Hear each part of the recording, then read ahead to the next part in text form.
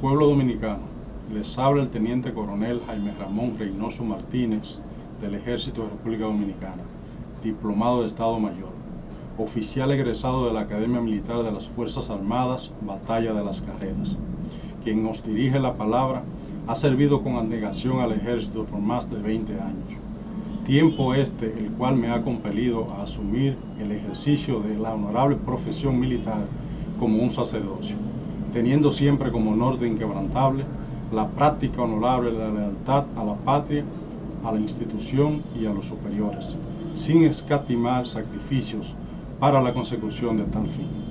Además de militar, soy un modesto empresario del área del tabaco y también soy abogado de los tribunales de la República en ejercicio pleno de la profesión del derecho.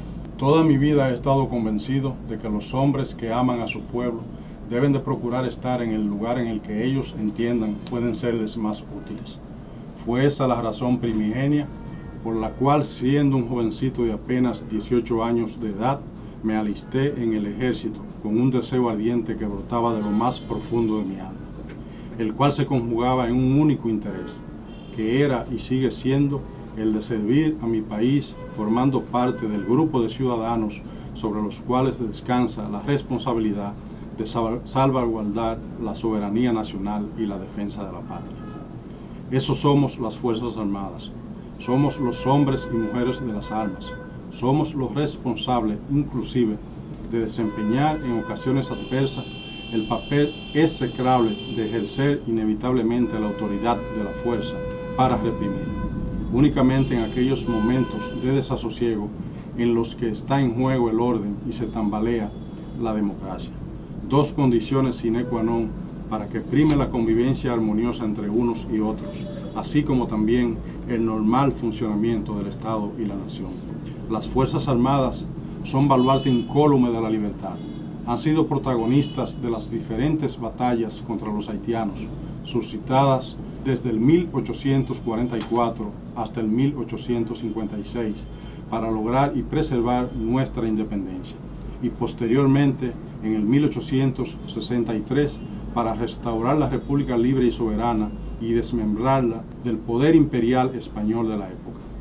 Pero si rememoramos el pasado reciente, acertamos que fueron un grupo de hombres valiosos de las Fuerzas Armadas quienes, imbuidos por aquella sensación de valentía y de heroísmo que otorga el sentido del deber, se alzaron en armas en aquellos días funestos de abril del 1965, como consecuencia del fatídico golpe de Estado perpetrado contra el gobierno constitucional del presidente Juan Bosch en aquel lúgubre 25 de septiembre del 1963. Fueron los coroneles Francisco Alberto Camaño Deñó, Vinicio Fernández Pérez, Giovanni Gutiérrez Ramírez, Pedro Bartolomé Benoit y Eladio Ramírez Sánchez, los que próximo a las 11 de la mañana del 25 de abril del 1965 honraron a las Fuerzas Armadas cuando con arrojo y valentía conformaron el Comando Revolucionario en la sede del Palacio Nacional, a lo que también se sumaron el coronel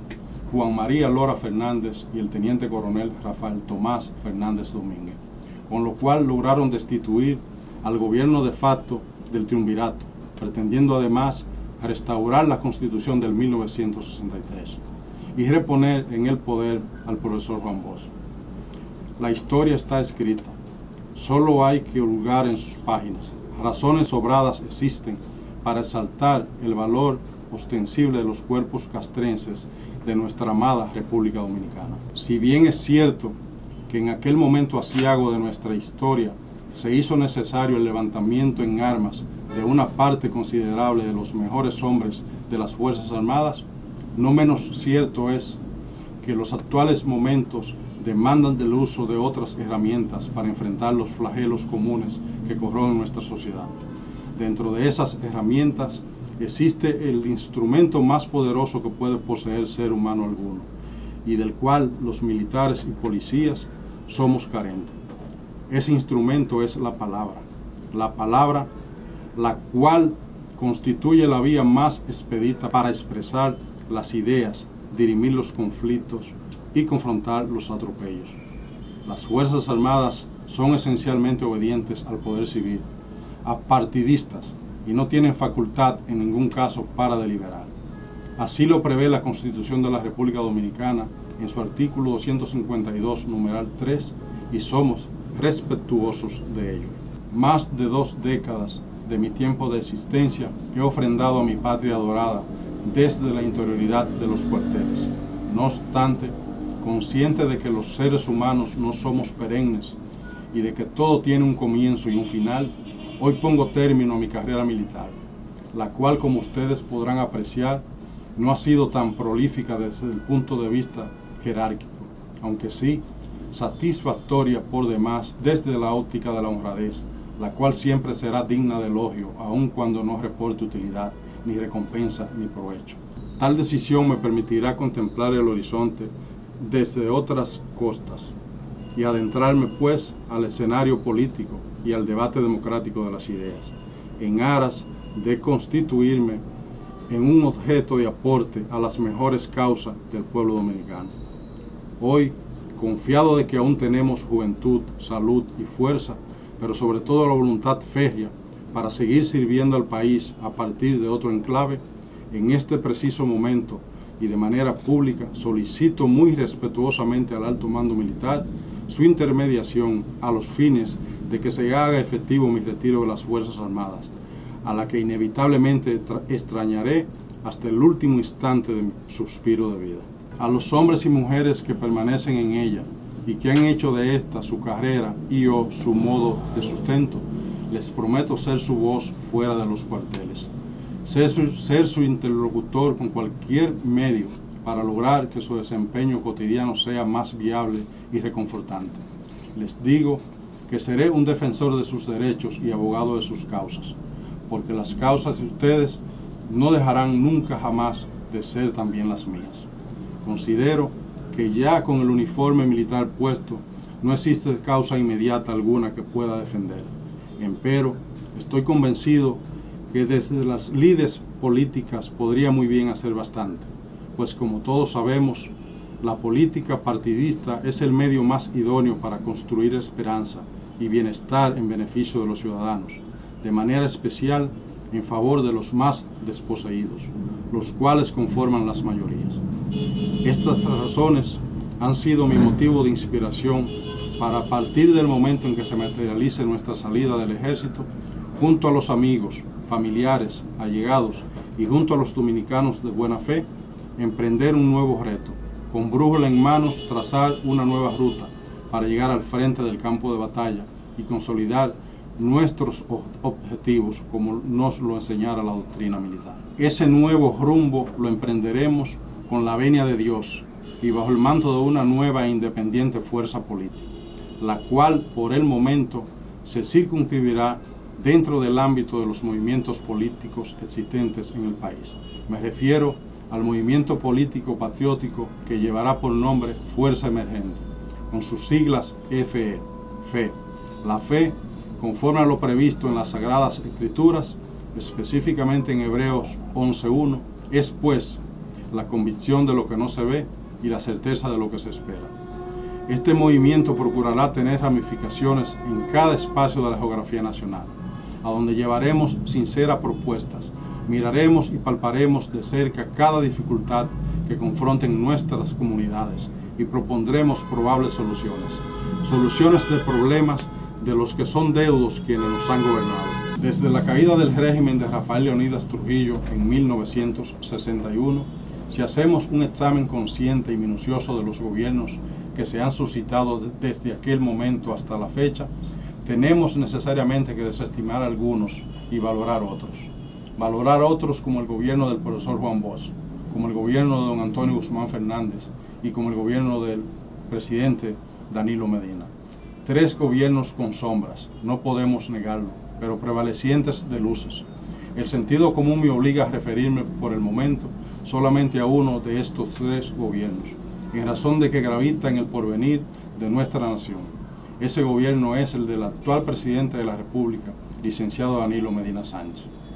Ha sido el presidente Danilo Medina, quien revestido de la humildad que le caracteriza, ha ido en auxilio de los productores del campo con sus visitas sorpresas escuchándolos y proveyéndolos de recursos para incentivar los cultivos agrícolas, lo cual ha propiciado que el 85% de los alimentos que hoy consumimos provengan de las manos de productores nacionales. La tasa de préstamo del Banco Agrícola en la actualidad es de un 8% anual, con lo cual se han beneficiado más de 230 mil productores, accediendo a financiamientos a través del Fondo Especial para el Desarrollo FEDA, sobrepasando los 127 mil millones de pesos prestados. Con su programa de titulación de tierras, el presidente ha entregado más de 53 mil títulos de propiedad en 23 provincias del país. Ha sido el presidente Danilo Medina quien ha puesto en alto nuestro país, propiciando que la economía dominicana sea la más robusta de América Latina. En su gestión de gobierno, más de 700 mil nuevos empleos han sido creados. Durante la gestión del gobierno actual, hemos podido adquirir principalía en el sector turismo, convirtiéndonos en el principal destino turístico del Caribe. Por primera vez las exportaciones han aumentado durante el primer semestre del año en curso, hubieron ingresos por valor de 5.522 millones de dólares. En sus promesas de campaña, el presidente prometió auspiciar el 4% del Producto Interno Bruto para la educación y una vez llegó al poder materializó su compromiso. Hasta el año 2012 solamente se habían construido 32.000 aulas escolares. Sin embargo, en poco menos de ocho años de gestión del presidente Danilo Medina, se han construido más de 20.000 nuevas aulas, lo que equivale a un incremento que ronda el 63% sobre el número de las aulas que ya existían. Fue el actual presidente quien implementó el modelo de tandas extendidas de educación en las escuelas, lo que ha permitido que los padres puedan desempeñar sus actividades cotidianas mientras sus hijos permanecen recibiendo el pan de la enseñanza en un lugar seguro y bajo el cuidado de sus maestros. Ha sido durante el gobierno del presidente Danilo Medina que la indigencia descendió del 9.9% en el 2012 al 2.9% en el 2018, lo que significa que más de 650 mil dominicanos dejaron de vivir en la extrema pobreza.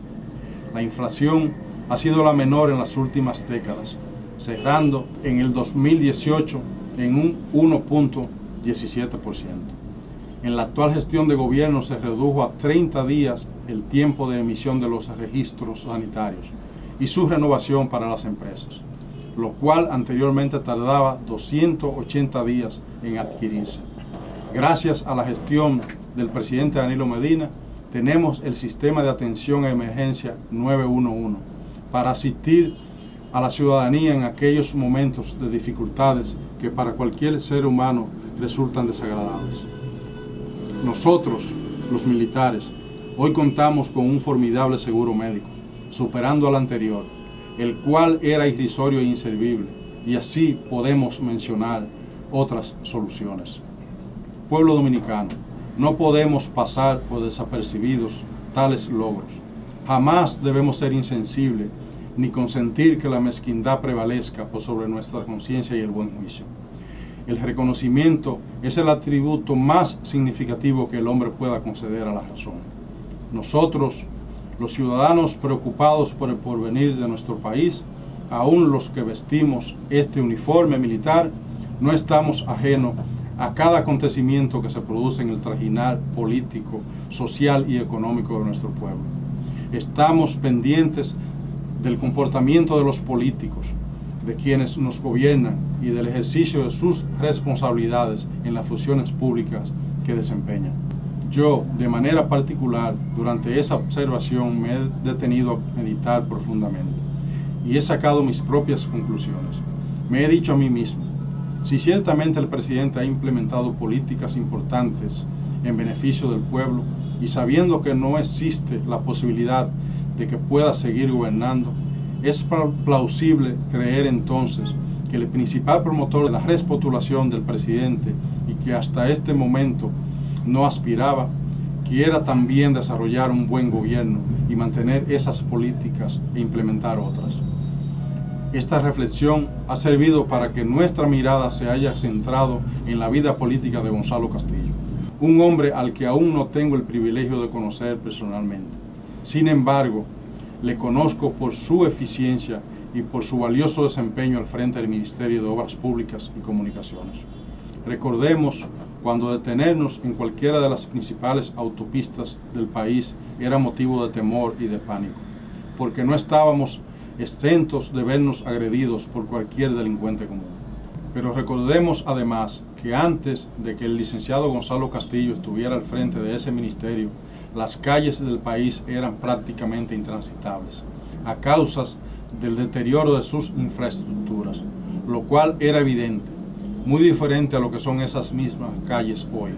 En la actualidad, la mayor parte de las vías públicas del país están asfaltadas. Señoras y señores, dominicanas y dominicanos, tanto ustedes como yo sabemos que estamos viviendo momentos de incertidumbre, tenebrosos como la más oscura de las noches. Dos partidos políticos PLD y PRM son las únicas opciones de poder, uno más que el otro. Y cuando colijo uno más, me refiero al Partido de la Liberación Dominicana. Por consiguiente, para mí, en este momento es lo que más debe interesarnos. No nos llamemos a engaño. El escenario político actual dentro del Partido de la Liberación Dominicana se encuentra dividido por dos propuestas. Una propuesta que ya bastante bien conocemos, porque nos, nos gobernó durante 12 años. Una propuesta que hoy recurre al apoyo de la fuerza del pueblo. Sin embargo, era precisamente la que se oponía a que ese mismo pueblo participara libérimamente de unas primarias abiertas. Una propuesta a la que para no desdeñar únicamente asociaré a uno de los pasajes filosóficos de Marco Tulio Cicerón, aquel famoso orador, filósofo, estadista y abogado de la antigua Roma antes de Cristo, el cual decía lo siguiente, todas las cosas fingidas caen como las flores marchitas, porque ninguna simulación puede durar largo tiempo. El surgimiento de una propuesta política nueva, fresca y creíble legitima ese pasaje de Marco Tulio Cicerón al cual me he referido. Y esa propuesta es la del licenciado Gonzalo Castillo, un ser humano sencillo y pragmático, un hombre de hechos, no de palabras, alejado de aquel discurso ilusorio envuelto en un estilo literario confuso e inentendible, que únicamente procura envilecer las mentes de sus oyentes. San Agustín de Hipona decía, la única voz digna de fe es la voz de los hechos. Por eso, no tengo duda que es el único que garantiza la preservación de los logros que hasta este momento han sido alcanzados por el presidente Danilo Medina porque ha demostrado ser su mejor discípulo y porque sé que está comprometido con la causa de su mentor político y con la lealtad que le profesa. Su paso por el gobierno lo dice todo. Ahí está su impronta. Pienso que las diferencias políticas, fruto de las ideologías, no nos ceden el aval para ser radicales y rehusar a la sensatez. Conscientes de tal realidad y a sabiendas de que dentro del Partido de la Liberación Dominicana existen esos dos escenarios, en este momento crucial de nuestra historia republicana, no podemos quedarnos rezagados. Debemos de jugar nuestro rol y lo haremos poniendo a servicio de la propuesta del licenciado Gonzalo Castillo los servicios del movimiento político patriótico Fuerza Emergente. Trabajaremos incansablemente días y noches para que el 6 de octubre próximo sea él el candidato oficial del Partido de la Liberación Dominicana y consecuentemente el 17 de mayo del 2020 sea elegido como el presidente de los dominicanos.